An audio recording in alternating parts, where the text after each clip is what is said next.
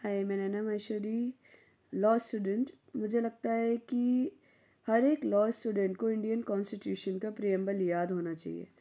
So I tried my best to learn it here we go we the people of India having solemnly resolve to constitute India into a sovereign socialist secular democratic and republic to secure to all it citizens justice social, economic, and political, liberty of thoughts, expression, belief, faith, and worship, equality of status and of opportunity to promote among them all, fraternity assuring the dignity of the individual and the unity and integrity of the nation.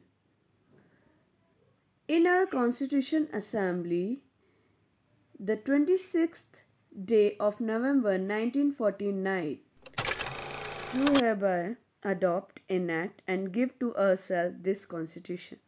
Thank you.